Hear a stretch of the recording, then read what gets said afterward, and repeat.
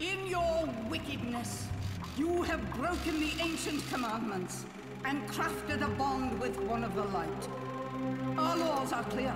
They demand you be eternally imprisoned.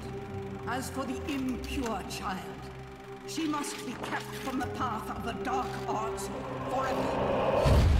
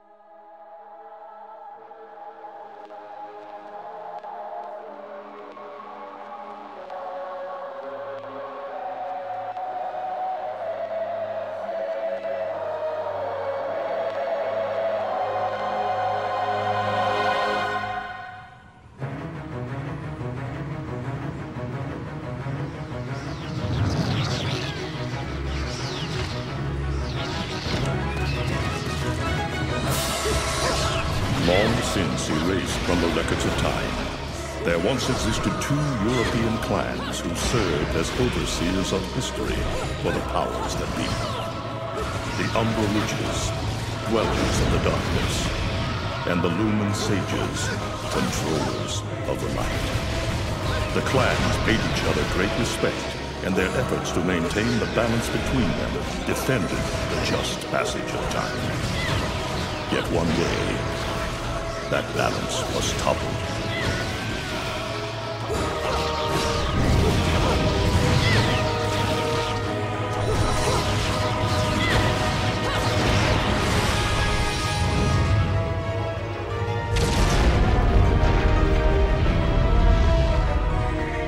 The once harmonious clans fell into disagreement and stoked the flames of hatred against each other, resulting in an era of strife. The conflict between the Umbra and the Lumen threw all of Europe into a chaotic loop of battle, ambush, assassination, and casualty. It was truly a gruesome war. Despite the tremendous radiance of God shining upon them, the Lumen Sages were gradually weakened by the assault of the secretive Dark Witches. Years after the balance was lost, the war had ended in the Umbra Witches'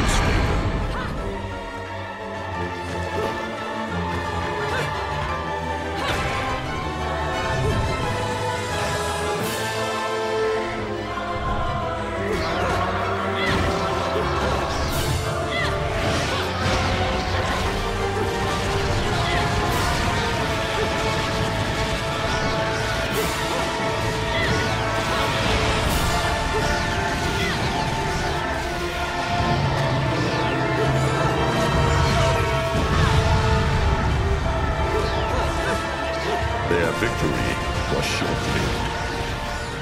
Fearing the witch's dark abilities, humans began to condemn the name Umbra. They launched the witch hunts, rounding up the battle-weary witches with little resistance and subjugating those who wished to continue the struggle. Human faith in the miracles of their god pushed the witch hunts further, and soon the Umbra witches, keepers of the darkness, were extinguished from the earth. All but one.